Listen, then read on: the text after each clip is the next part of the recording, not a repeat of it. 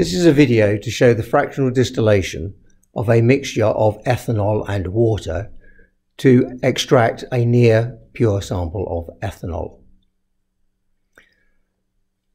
Fractional distillation is used to, to separate two liquids that mix, which have a boiling point for each component that is different, but usually only different by a small amount. In this case, the ethanol, which is flammable, has a boiling point of around 78 degrees centigrade, whereas the water has a boiling point of 100 degrees. When they are mixed, they would not produce a flammable mixture. But hopefully at the end of this experiment we'll be able to show that the product, ethanol, does in fact burn. The fractional distillation apparatus used in a laboratory uses a round bottom flask. The round bottom flask and then attached to it is a fractionating column. This is simply a column which has a large surface area and allows for boiling and condensing to occur. In this case, the fractionating column is made simply by putting lots of glass beads inside the tube. The temperature at which the vapours pass across on heating is measured using the thermometer at the top. This is then attached to a Liebig condenser. This is the Liebig condenser, which is um, set up so that the water comes in from the bottom of the jacket that is around the tube that delivers the, um, the liquids, the condensed liquids, and the water comes out at the top, in part to fill the jacket, but also to create the most effective temperature gradient for condensation. We will collect the pure ethanol in another round bottom flask.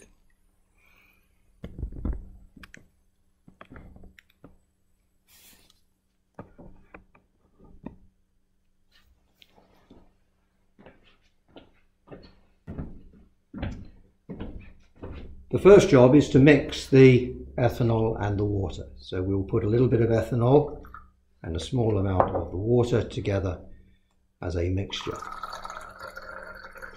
This mixture is going to be transferred into the round bottom flask. We're also going to add, as well as the mixture, some anti-bumping granules. The reason for doing this is that they provide a um, inert surface for boiling and so the boiling doesn't get too violent. I have clamped at this point, which is not actually necessary, so that I'm able to um, take off the round bottom flask. I've clamped securely here, the round bottom flask at the bottom.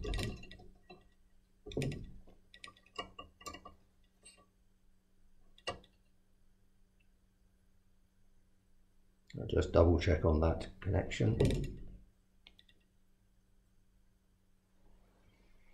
So, as well as the mixture of ethanol and water,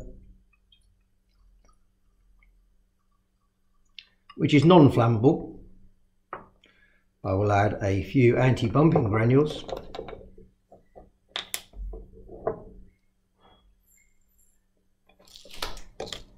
so that I'm able to produce the correct combination of anti-bumping granules and mixture so that the boiling is none too violent. And then I'll replace that into here.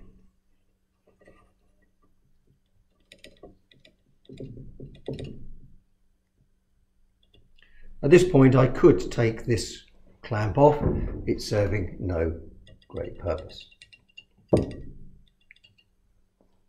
And at this point, I will also turn on the water. The water comes in, as I say, from the bottom and comes out at the top. So now, if I was being absolutely safe, I would warm this with a hot water bath or with a heating mantle. Um, but for speed of reaction, I'm going to use a, a Bunsen, although we do have flammable materials available. So using the Bunsen, I'm going to warm this mixture of the ethanol and water. And what happens is that as the mixture boils and reaches the temperature um, of 78 to 100 degrees, this mixture is going to boil. When it boils, the vapor that comes off will be richer in the ethanol because it has a lower boiling point. Now as this vapor boils, it is not going to have 100% ethanol. But as it boils, it will be richer than the original mixture in ethanol.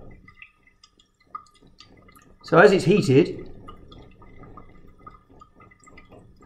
the vapor produced as it starts to boil we'll have a greater proportion of ethanol. So as it boils, boiling a little bit violently given the amount of anti-bumping granules there, you'll see that the vapor starts to condense in the fractionating column. Now if I keep this boiling, what will happen is that as the vapor rises up this cool fractionating column, it will condense. But as it condenses, as you can see it just rising up at this point, it will, the vapor will condense and fall back down. As it falls back down, it hits a hotter area. Because it's richer in the ethanol, which has a lower boiling point, it will boil again. And so it will continue to boil. As it boils, you'll see that it rises up and continues to fall back and then rise up as it continues to boil. Eventually, it will be near pure ethanol. And so what will happen is that as it rises up into this area, you might be able to just about see that rising up into this area. At this point, and only at this point, will the thermometer change to read a temperature that is higher than its original temperature. So here comes the vapor and it is dripping back off the thermometer and so it drips back down into the fractionating column. Now this liquid at the top we are hoping is going to be pure ethanol. Now you can only see this, or near pure ethanol, you can only see this if the thermometer has reached a temperature that is near to uh, 78 degrees. Now the vapour then passes into the Liebig condenser, and as it passes into the Liebig condenser it cools again because of the jacket of cold water. And so the ethanol will start to come out on the other end, and you will see quite clearly that we have collecting liquid that is condensed at the other side. We're rather hoping that that liquid that is collected on the other side is going to be pure ethanol. So at this point I'll stop heating. We're not aiming to get um, water only on this side. The purpose of this fractional distillation is to make sure that we collect some pure ethanol um, or near pure ethanol from this mixture of water and ethanol. So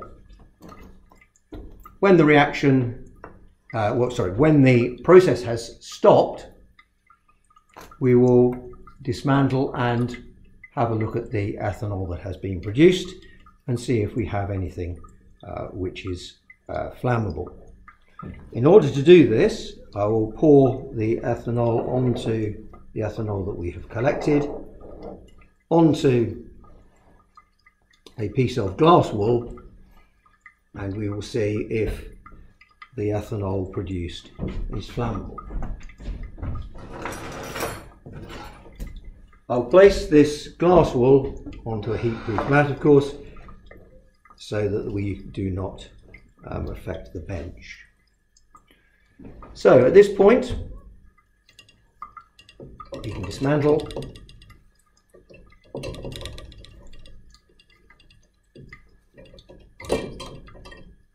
More ethanol will drip down, no doubt. And here is your pure product, or near pure product. If I pour it onto here, we'll see if we can ignite it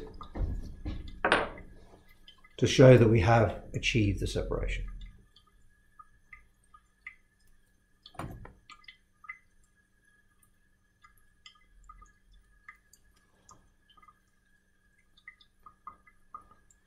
Uh, and very clearly, you can see that the product of the reaction, or not the product of the reaction, but the product of the separation is definitely flammable, which shows that we have separated the ethanol from the ethanol water mixture that we had present.